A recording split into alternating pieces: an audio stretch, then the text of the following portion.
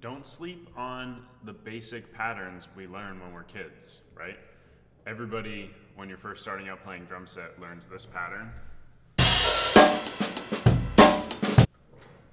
And we learn it for a reason. For one, it's really attainable, it sounds pretty interesting, and it's used in a lot of music.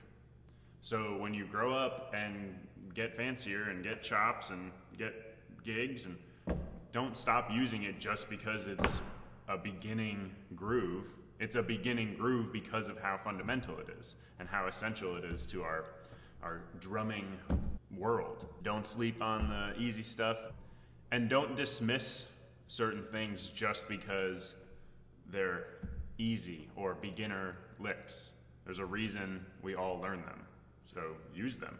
And they sound pretty good when you mess around with them and build on them.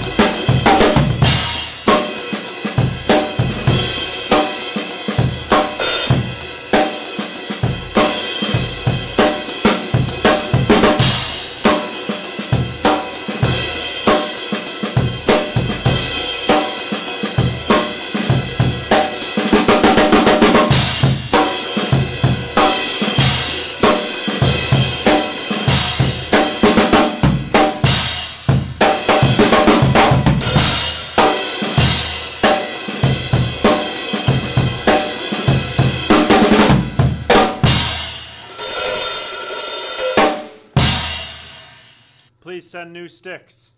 This one's broken.